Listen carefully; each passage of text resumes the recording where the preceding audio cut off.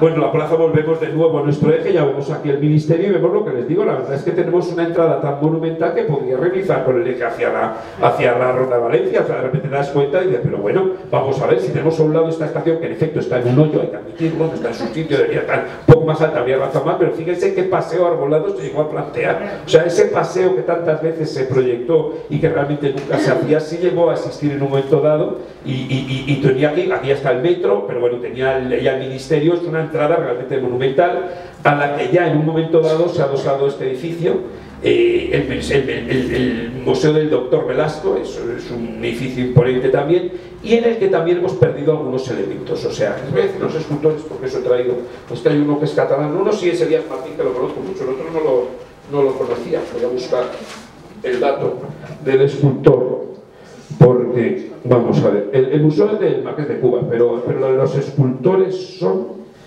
Miguel Servet, esta escultura, era por Elías Martín, que es un escultor conocido, que también lo veremos luego todo lo suyo aquí dentro del Instituto Pacífico. Y este es por Ramón Subirat, un escultor que no conozco. Tenía unas pinturas de Lozano de estilo pompeyano al fondo, Realmente el edificio es mucho más bonito que en la actualidad. Este frontón ha perdido toda esta decoración de la Minerva médica, que estaba en lo alto, era un doctor, y era Minerva, la doctora de la ciencia de la medicina, ha perdido las acróteras, estas esfinges, ha perdido la gran palmeta de remate, ha perdido las esculturas y ha perdido las pinturas. También ha perdido los remates de algunas tarretanas, por lo demás está completo.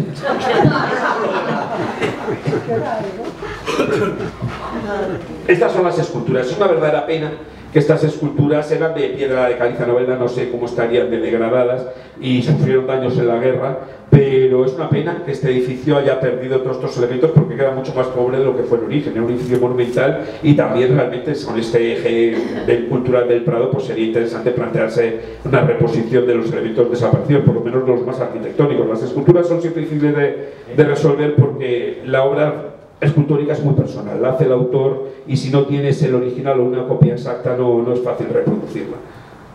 Aquí tenemos una foto también de la guerra, hemos visto el otro Ministerio Dañado, toda esta zona sufrió daños también, fíjense, esta es la escultura, de, y bueno, el edificio ya ven cómo quedó la escalinata, cómo quedó todo. Imagino que fueron los motivos por los cuales en, en, después de la guerra pues se eliminaron estos elementos, yo no los he llegado a ver, yo los he visto solo en fotografía, no he llegado a verlos nunca. Eh, el edificio luego fue restaurado en los años 80 con bastante buen criterio, era un museo muy bonito, supongo sigue siendo, hace mucho tiempo que no paso por él, pero vamos, es una de las piezas importantes monumentales del barrio y muy interesante como el eje cultural. Y aquí tenemos, viendo el paseo desde la otra dirección, fíjense la estación de Atocha y lo que les decía de todos estos edificios monumentales de, del ferrocarril, porque es muy curioso cómo al edificio original eh, se sumaron en, en, 1885, vieron que se quemó en 1884, pues se trasladan aquí. El edificio es tan valioso, la construcción, la piedra se conservó bien, después del incendio en la cabecera de la estación de Atocha, que los ingenieros franceses decían hacer una nueva estación monumental, pero se trasladan al edificio y no lo pierden. Y entonces es esta, esta tira impresionante de edificios que curiosamente los hacen los, los, ya estos son eh, arquitectos e ingenieros españoles que los hacen copiando el modelo francés. Narciso Clavería, que este, es un, este era el, el conde Manila es, eh, sí, es una cosa rara. Eh, y este hombre, por ejemplo, si van ustedes en la línea Aranjuez, es el autor de la estación de Aranjuez, si la conocen es una estación monumental bellísima, y de la estación de Toledo también, que es otra estación fabulosa de estilo neomudéjar. Pues es un, como son arquitectos eclécticos, trabajan el estilo que corresponde. O sea, en Aranjuez él hizo un edificio acorde con la grandeza, con una ciudad regia, en Toledo lo hace neomudéjar porque es toledano, en el estilo toledano, y aquí trabaja en estilo francés con la misma facilidad para realizar estos edificios.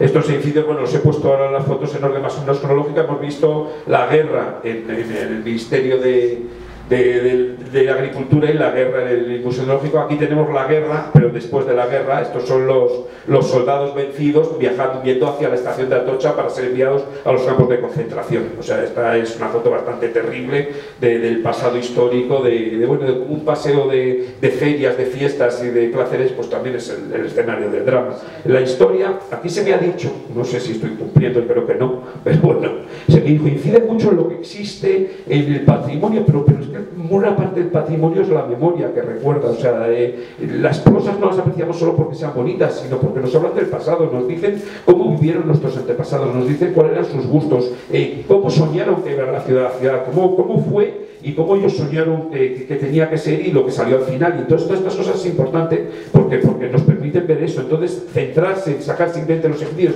y sacarles, mire, este edificio qué buena composición, esta escultura qué buena es, me parecía que es quitarle buena parte de su valor. O sea, todos estos elementos, parte de su valor es lo que ha sucedido con ellos cuando se construyeron, por qué, y, y la vida que han tenido, y eso creo que es la memoria de todos y es parte del patrimonio muy importante.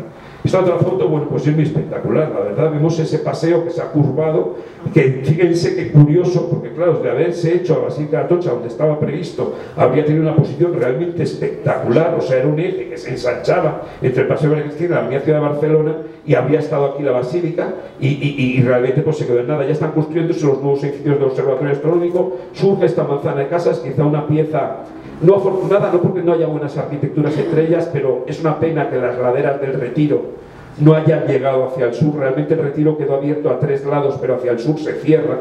Imagínense cómo sería si no hubiese llegado a construirse esto y estas laderas hubiese ampliado el retiro hasta este paseo. Pues habría sido, pues, habríamos tenido una entrada fantástica hacia el retiro. Pero bueno, es una foto muy interesante donde se ven además estos edificios monumentales de, este es el original del que se trajo y estos son los edificios monumentales que fue construyendo la, la compañía de ferrocarriles a lo largo. También vemos aquí los talleres, esos talleres de la parte trasera bueno, estos son los edificios en su estado actual, se conservan. Este es precisamente el de Narciso Clavería, que han visto hace un momento, esta es la fachada. No he puesto fotos modernas porque sinceramente estos edificios no hay que los fotografíe. Son tan grandes, hay tantos árboles y son muy monumentales, pero es que no te sale nada en la foto. Entonces, pues bueno, pasado. Y estos son los talleres traseros. Estos talleres, que fíjense, estos son original, con cubiertas todavía madera. Un taller de fraguas para la estación. O sea, fíjense además el número de fraguas, es sorprendente. Son chimeneas y tenía un montón de fraguas, se ve, para trabajar los hierros, que todavía se hacían en buena parte en forja para, para, para producir el taller de montaje, los talleres, porque, claro, se construían los trenes, las locomotoras, montones de cosas. Fíjense qué elemento tan curioso. Están levantando, que debe ser para alguna arquitectura y una cosa curiosísima en, en, la rampa.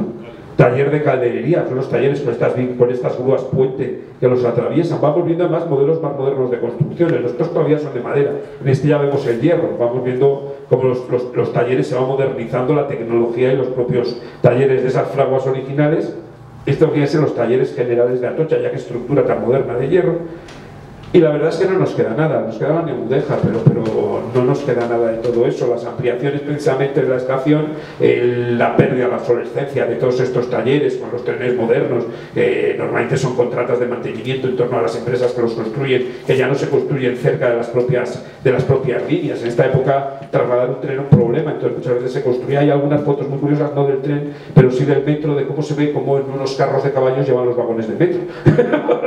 porque, claro, transportar cosas no es nada fácil en, este momento. Pues nada, eso es lo, único que nos queda, pero bueno, realmente es un patrimonio también industrial que nos habla también de, una memoria del trabajo que, tampoco se puede olvidar.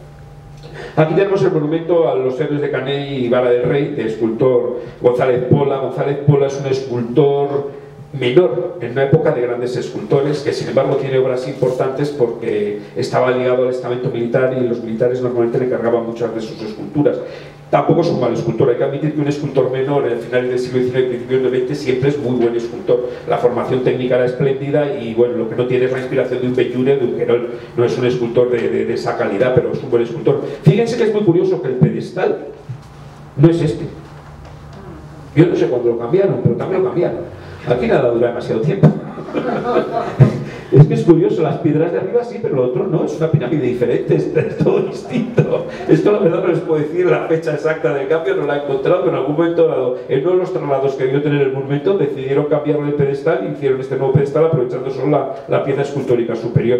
Es, bueno, pues es una pieza también de este patrimonio artístico que vamos viendo es un eje que es rico, ¿eh? ya hemos visto una estación ministerio, varias esculturas, varios grupos artísticos, monumentos, en fin, estamos viendo una serie de elementos realmente muy monumentales, este es el grupo superior, es un poco acartonado. Y luego tenemos la pieza, la gran pieza que nos falta, la pieza que teníamos que haber